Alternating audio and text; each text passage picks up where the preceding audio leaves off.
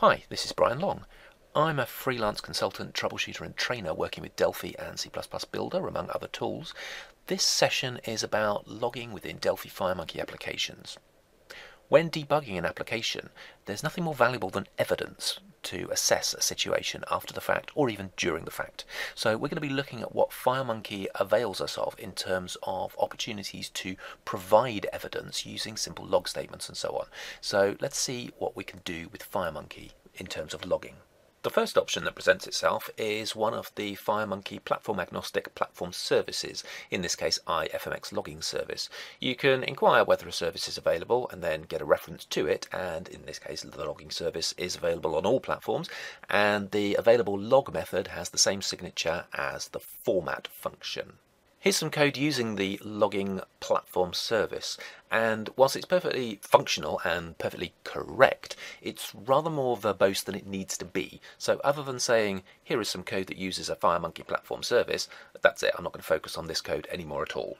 The reason being that that service calls into another FireMonkey piece of agnostic functionality, in this case a class method of a class implemented in the FireMonkey types unit. So log.d is a much simpler way of invoking exactly the same behavior as the logging service, which simplifies the code to this. The logd method has a variety of overloads that you're at liberty to explore at your leisure.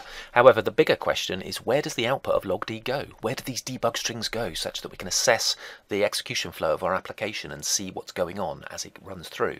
And the answer is it depends upon various factors. If you believe the documentation for logd and ifmx logging service.log, then you would expect the output to always go in Delphi's event log debug window.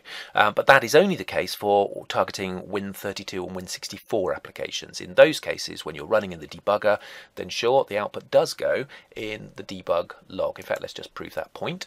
So we'll run the application up and uh, up starts the debugger. The event log is populating away nicely. And then if we induce some log messages, some debug strings, then sure enough, we get some debug output lines in the event log, assuming all the properties are at the default. And this is because the event log window is listening out for certain Windows API calls, the ones that log.d on the Windows platform is invoking, namely the output debug string API, listening out for those, picking up the information and displaying them for us in the debug event log window. So that's all fine for Win32, Win64 targets running inside the debugger. What about when not running in the debugger? Well, we can still use uh, other tools. Uh, there is a tool called debug view from sysinternals.com, which is just a, a, redirect into somewhere inside the Microsoft website. Uh, Sys, sysinternals um, have a lot of useful free tools. Debug View is one of them, which does much the same sort of job as the event log window does in Delphi.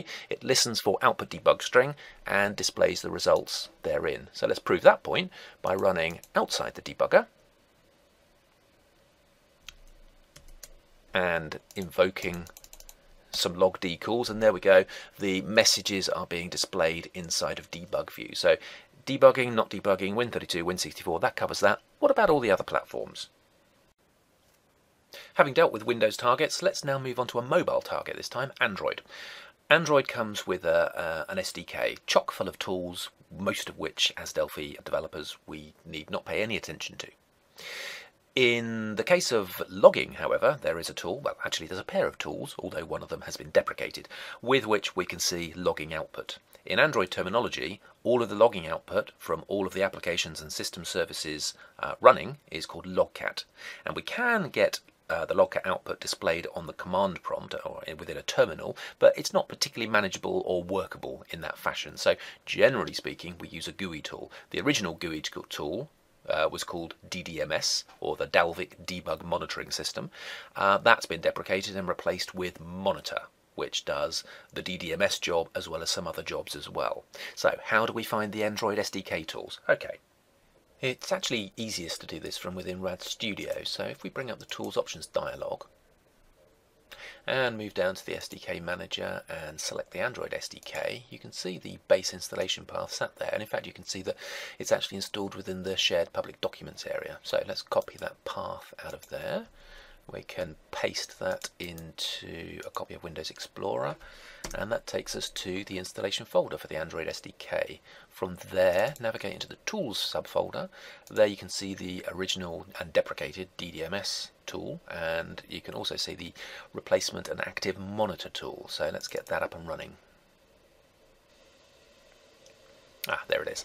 Okay, so when it pops up, we need to make sure that the DDMS perspective is active, which it is, and then all the action occurs in the Logcat tab. So let's make sure this tab takes up the majority of the screen here, and then we can see all of the uh, debug strings being pumped out into this Logcat window. And this is where the output from our calls to logd will also appear, and you might therefore see, given the speediness of the stream of information going through it, might be a bit tricky to keep hold of where our messages are within this logcat. And that's where the filters come in. So uh, I'll set up a little filter here, such that only um, debug strings emitted from my application, those applications which have a package ID starting with com.blong, um, satisfy the filter and will appear in the list and that gives us ostensibly a clean sheet. Generally speaking, it will be a clean sheet. Okay, back in the RAD Studio, you can see here in the project options for my simple uh, demo app, in the version info page, I've modified the package name, as mentioned, to have a com.blong starting uh, prefix. It defaults to com.embarcadero. And also you can see that I've uh, switched to an Android target. So let's get this puppy up and running.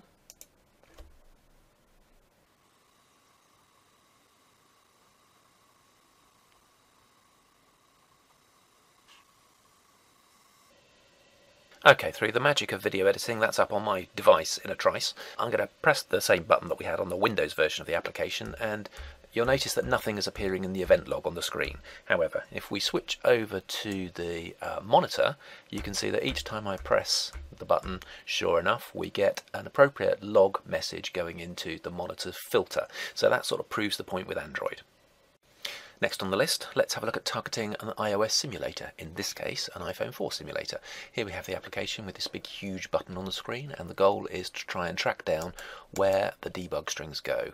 And the answer is, is in the OS X or Mac OS console application, but it's buried deep and you'll be hard pressed to find it without a little bit of assistance. And so the assistance is given on this debug menu of the iOS simulator.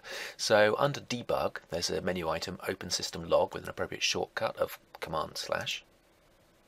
And what this does is it launches the console application and takes you into the relevant nested library logs core simulator something something under there uh, section and shows you just the logs for this particular application. And basically you can see lots of information. A lot of it is basically garbage to our eyes but it does include the information that we need namely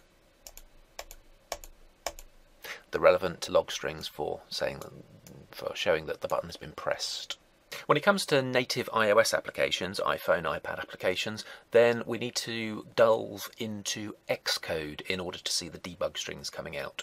So what I've got is uh, a 64-bit iOS application running on an iPhone, and I have Xcode sitting here on the screen, and we're going to have a look at where we can find the debug strings because they're tucked away, slightly annoyingly hard to find.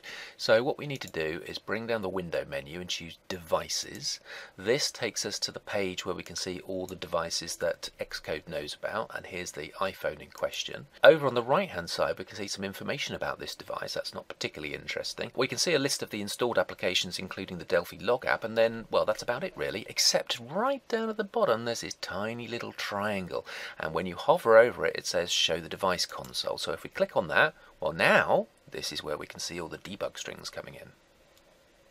So if I go over to the, uh, the device itself and tap the button there we go. We can see the debug strings coming in. So that's how we deal with iPhone applications Finally, we need to look at macOS or OS X applications. And the difference here is that logd is implemented as a call to write line, so it just goes out to the standard output. And we need to answer the question of how we see information being sent to the standard output from a FireMonkey GUI application. Well, here's our application sitting right next to the tool that launched it, PA Server, which happens to be a tool running in a terminal window. And because of that, in fact, it's as simple as just look at PA Server. In order to see your debug strings, your logging information, just look at the PA Server window. So that's about that. And that's about all we've got time for in this little run through of logging capabilities in FireMonkey cross platform applications. So I hope it's been of use. Thank you for joining me. See you soon.